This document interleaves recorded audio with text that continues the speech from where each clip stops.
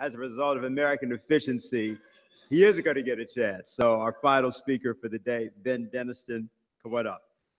21st Century Science and Technology.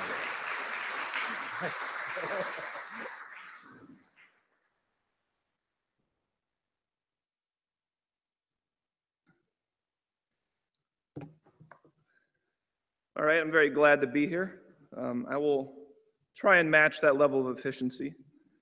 Um, so, I mean, we've gone through a lot. I want to just just try and take a few minutes to step back and look at everything we've discussed on the New Silk Road, the expansion of the New Silk Road to the World Land Bridge, and re-examine a lot of these details, the aspects of this from a broader perspective of Mr. LaRouche's work on the science of physical economics.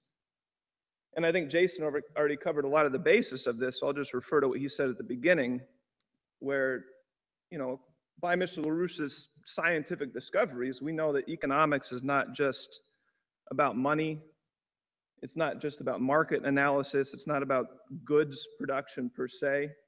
You really are looking at the science of how mankind progresses in a completely unique way. And Mr. LaRouche often refers to the, the distinction of mankind from the animal species as a useful reference point to illustrate what makes mankind unique. As has been said, any animal species is, has a fixed relation to its environment, has a fixed ecological characteristic. Humankind does not. Humankind is characterized in its most fundamental essence by the ability to continually revolutionize our relation to the environment. And I think this perspective provides a new way to look at the New Silk Road, the World Land Bridge, as the role it plays in a certain process of human development. And this can maybe be got at initially by this image. I think Jason had the same one of the earth at night. Hopefully that's visible to our audience here. Um, but I think what you see uh, immediately is that much of the economic activity, human development, is still along the coastal regions. There's been various estimates. I saw some figures that something like about 40% of the world population is still believed to be living within 60 miles of the coast. And you can have various ways of measuring that coastal area, but by a very generous estimate, that could be maybe be about 10% of the continental landmass. So almost half the world population living in less than 10% of the continental area. It's an interesting perspective. As we see, this is maybe not the most, this is a depiction of the six land routes and the one maritime component of the Belt and Road Initiative. I apologize if this map isn't completely accurate. This is one indication of the six different routes. And as we see immediately, you know, these are routes going through many of these inland territories, going through many of these landlocked regions, inland regions, and obviously very similar with the what Hal just took us through some of the exciting components of the expansion of this into a global world land bridge perspective. And again, we see these main routes, these main corridors traversing many of these inland regions. Um, as Helga and Lyndon LaRouche have envisioned this global project, the, the intention is to do much more than simply connect existing population centers, but to bring new levels of development, economic development, population, activity throughout these inland territories. Uh, in effect, enable these inland regions, these landlocked regions, to become as productive or even more productive than the coastal regions have been historically. And I think to appreciate the principle behind this, what this really signifies, uh, we really have to go back and look take a clear, hard look at Mr. LaRouche's work in the science of economics, and in particular, uh, a better understanding of what economic infrastructure really means. as Jason discussed, the idea of creating a synthetic environment which sustains and supports the existence of a new level of human civilization. And mankind continually going through successive developments of higher order synthetic platforms. So I just have one quote from Mr. LaRouche I want to read from a 2010 paper entitled, What Your Accountant Never Understood The Secret Economy. And in there, he stated, we should then recognize that the development of basic economic infrastructure had always been the needed creation of what is required as a habitable development of a synthetic rather than a presumably natural environment for the enhancement or even the possibility of human life and practice at some point in the existence of our human species. Man, as a creator, in the likeness of the great creator, uh, is expressed by humanity's creation of the artificial environments we sometimes call infrastructure, on which both the progress and even the mere continued existence of civilized society depends. And this was part of a kind of an initiative Mr. LaRouche launched to upgrade people's understanding of what infrastructure really means for mankind. And based on this thesis, he developed a rather fascinating succession of what he called economic platforms. I'm going to go the, through this rather quickly, but you know, there could be room for more discussion later. But he said you want to go all the way back to ancient, even prehistoric transoceanic maritime civilizations. Even going back as far before the uh, last, the interglacial melt to the last glacial period, going back a couple tens of thousands of years and you look at a civilization that existed largely on certain coastal regions, maybe certain river systems, it was largely uh, related to sea routes and sea travel. And it was actually based upon the scientific understanding of the sky and the star map that gave this early, relatively advanced civilization this new level of existence. And then he defined the next major revolution being the development of canal systems, the management of river systems, and the creation of interlinked inland waterways as the beginning of mankind beginning to create a new synthetic environment, allowing mankind to move civilization further into the inland territories. And I believe many different civilizations have their own history of this, their own particular historical process of this type of activity. But for European civilization, Mr. LaRouche highlighted the work of Charlemagne, in particular, is really launching this beginning of this uh, inland waterway system throughout Europe. The next ma major revolution was basic rail systems.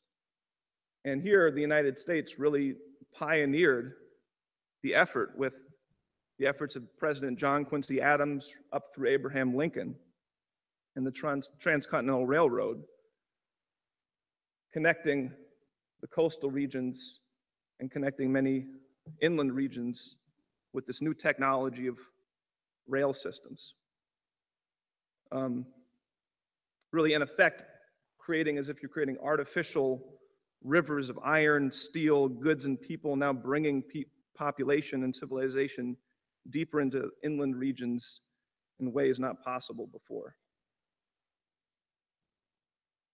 And then in this historical process, Mr. LaRouche has situated uh, what he defines as a qualitative distinction above just basic rail when you start talking about high speed rail, electrified high speed rail, magnetic levitation systems, especially.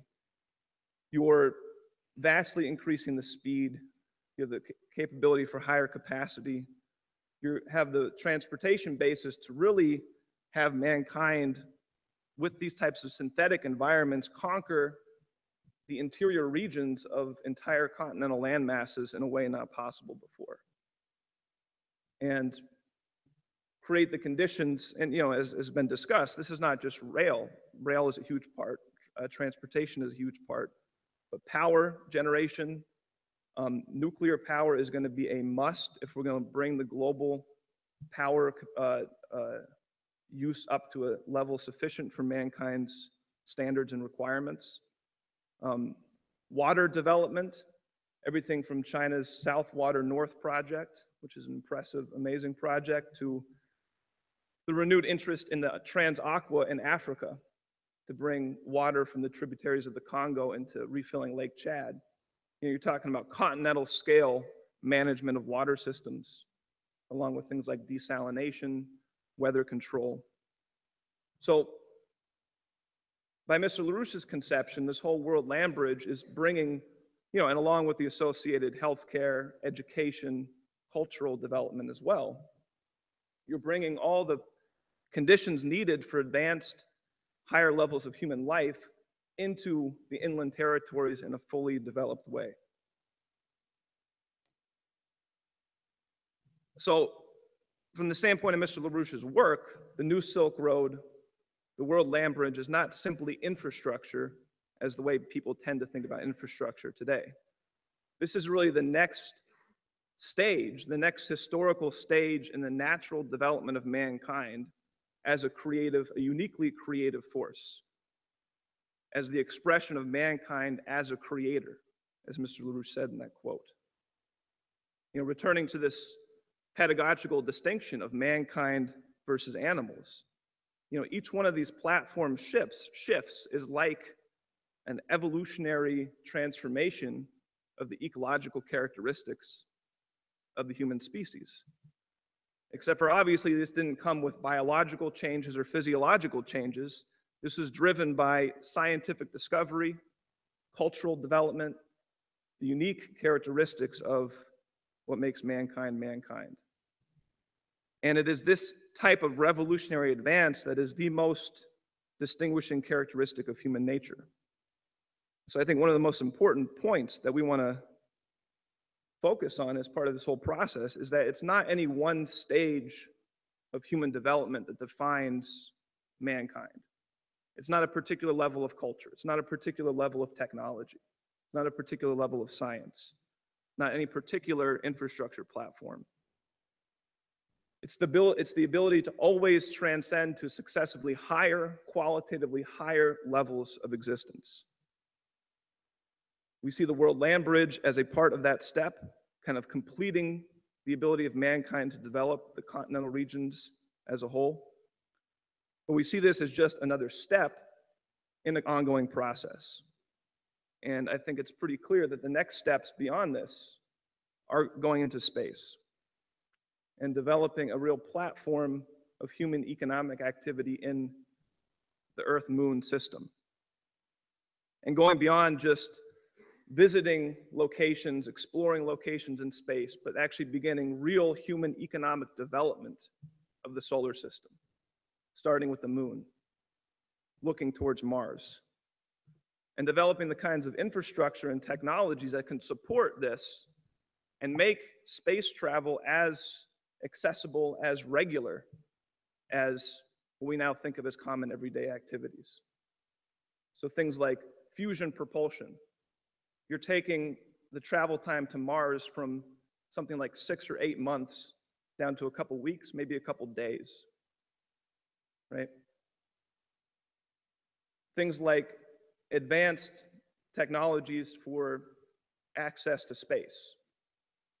Uh, space planes that can take off from a runway and take you into orbit, bypassing all the needs of rocket systems, space planes you could use over and over again. Or things like vacuum tube maglev launch into space could drop the cost of putting tonnage into orbit 500 fold.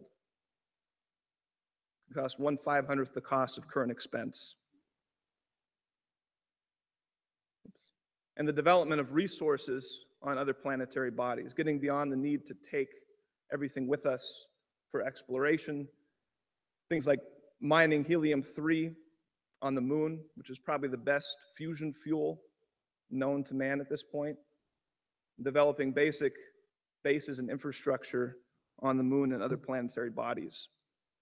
So these define you know, some broad categories that I think should coming out of what we're discussing with the Silk Road, we should also be thinking about the future next steps where we can transform mankind's relation to space in the same way we've transformed mankind's relation to the interior regions of continents, to other regions of the planet Earth. And recognize that it's only this process of continual successive development where every generation is engaged in new revolutionary challenges that we can really be adequately satisfied with our human existence. So I'll try and keep succession, uh, keep things succinct here, and I'll leave it there.